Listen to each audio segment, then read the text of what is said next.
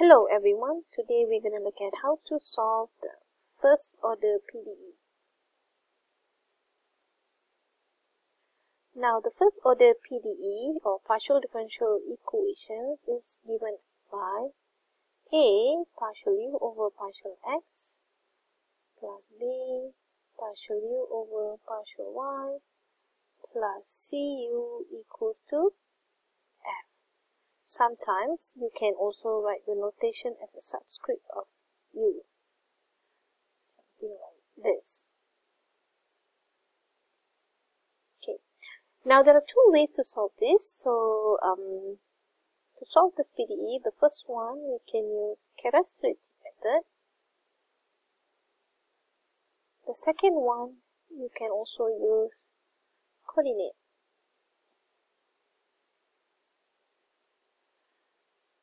Okay, so we're going to look at um, two ways to solve this. First, by using characteristic equation. Now, the idea of this um, of these two methods is to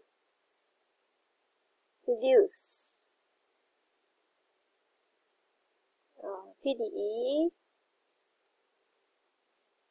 to a transform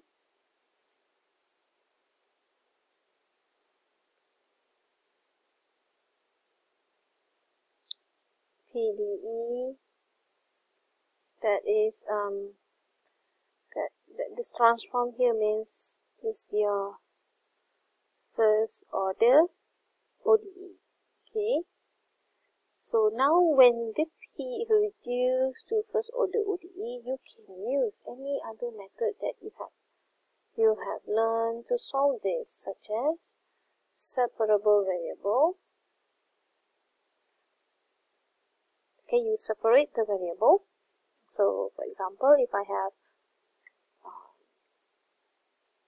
partial u over partial x equals to x. So I can separate the variable. And now you integrate. Okay? And you can also use uh, integrating factor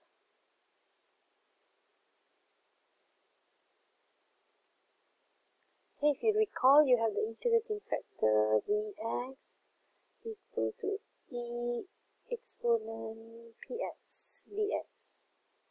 Okay, now this integrating factor, um, obviously your first order ODE should look like this. y prime plus pxy equals to f. So when f is 0, normally use separable variable. When f is non-zero, you can use integrating factor.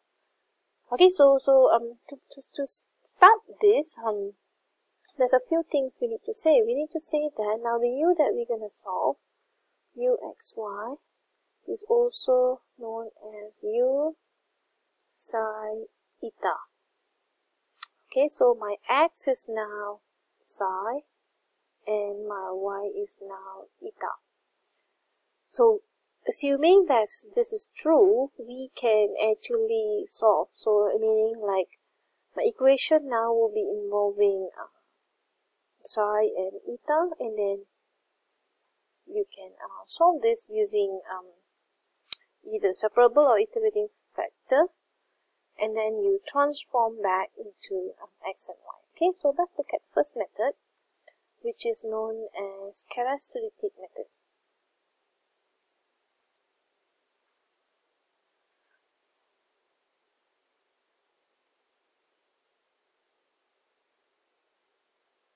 Okay, there are four steps to use characteristic method. The step one, step one is to find the characteristic curve known as dy dx equals to b over a. Okay, so where does b over a come from? So we're looking at um, first order PDE this is my first order PDE. So the A and B are the coefficient appear uh, in this um, first order PDE.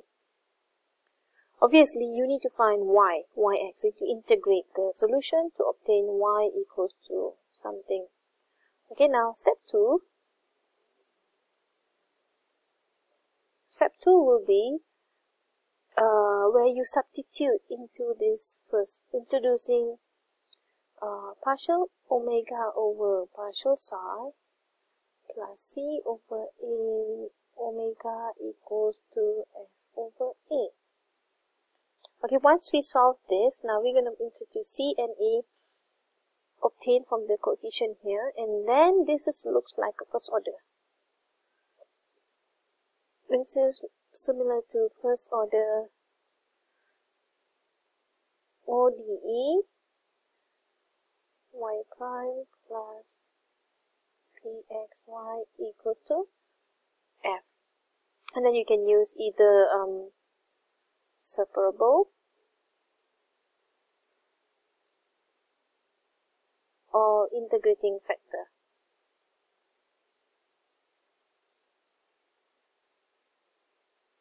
Okay, in most cases you look at integrating factor. Now there's another step. The step 3 will be uh, we solve. Okay, when I say solve for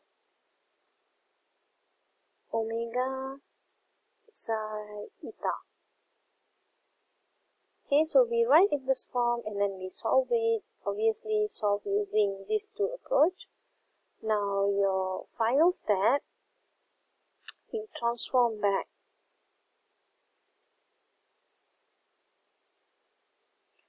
omega psi eta to uxy. Okay, so this is a method solve the first order PDE using causality. Now let's look at one example.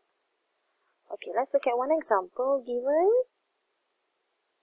the problem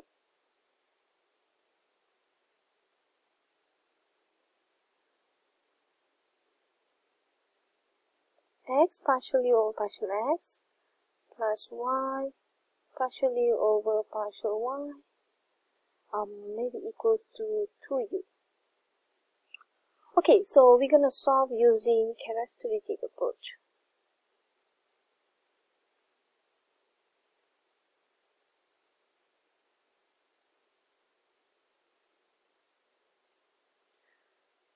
Okay, so remember there are four steps that we need to consider. Okay, first step is to find dy dx. But before we do that, make sure the following equation now in the form of um, in the standard form. So the standard form is given by aux plus buy plus cu equals to x. So I can write this as xux plus yuy minus 2u equals to 0. So you can know that my a is x, b is y, c equals to minus 2, and f equals to 0. Okay, now step 1 is to find dy dx equals to b over a, which is y over x. So what is y? So we can separate the variable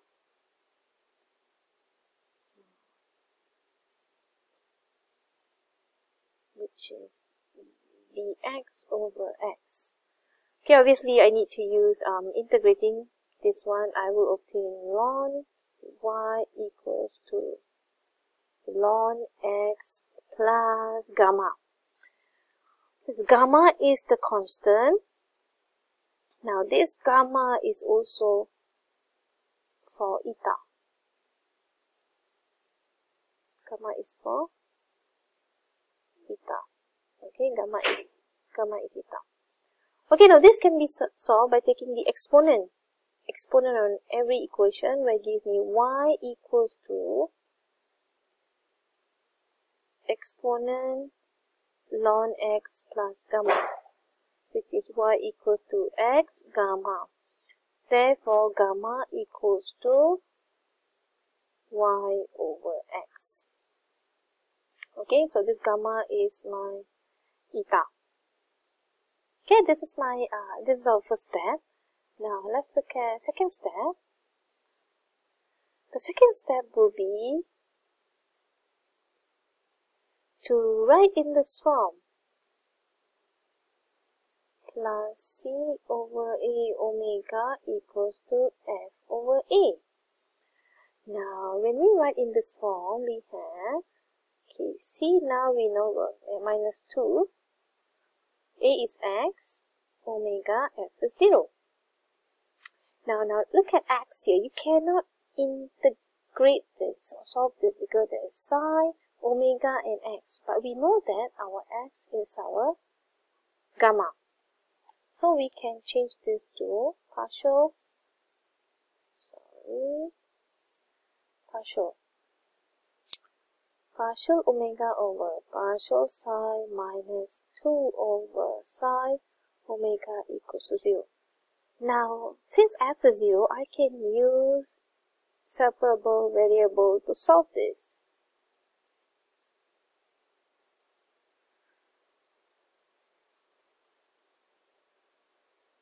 So 2 over psi d psi. Now integrating ln w equals to 2 ln psi. Remember we have a constant plus c or gamma, but because this is a partial, we need to, the constant will be our function of d. So meaning I have a, I have a function d here okay? And eta will be the eta that we already found earlier on. Now taking the exponent we get w omega equals to exponent 2 ln psi plus d eta. Now by the property of ln we have eta squared d eta Okay, so this is our step 2 where we have obtained, we have, um, actually it is our step 3, sorry, this is our step 3. Okay, let me fix this. This is not step 2, this is, uh, well, step 2 and step 3, pretty much. Okay, so this is step 2, this is step 2. Now to solve this, this is our step 3 where we solve for omega. Now, once you have solved this, our step 4 will be is to transform back. So we have obtained omega equals to psi squared d eta. Now this omega is my uxy x squared f. Now, eta, on the first time we have obtained eta equal to y over x. So therefore, this is the equation that you have obtained for that particular problem given.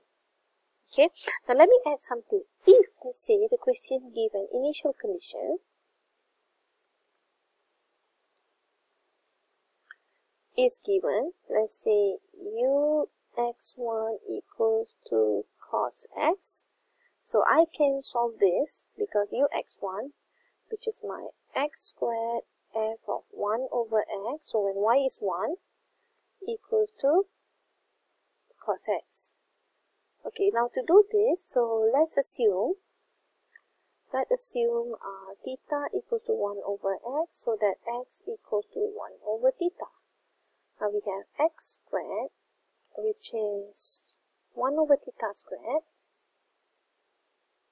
1 over theta squared, x squared, f of theta equals to cos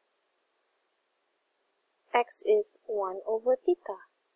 Now, f theta will give me theta squared cos 1 over theta. Therefore, you can say that f of y over x equals to y over x squared cos x over y, 1 over theta, so y over x, okay?